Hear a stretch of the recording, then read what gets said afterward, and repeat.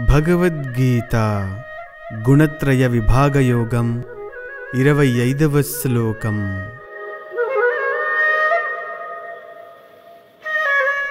మానావమానయోస్తుల్య తుల్యో మిత్రారిపక్షయో సర్వారంభ పరిత్యాగి గుణాతీత స ఉచ్యతే. శ్రీకృష్ణుడు అర్జునుడితో పలికిన శ్లోకం. మాన అవమానములను సమముగా చూచునో. మిత్రులయందును శత్రువులయందును సమభావముతో ప్రవర్తిస్తాడో.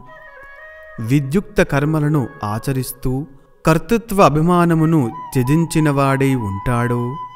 అట్టివాడు త్రిగుణాతీతుడు అని చెప్పబడుచున్నాడు.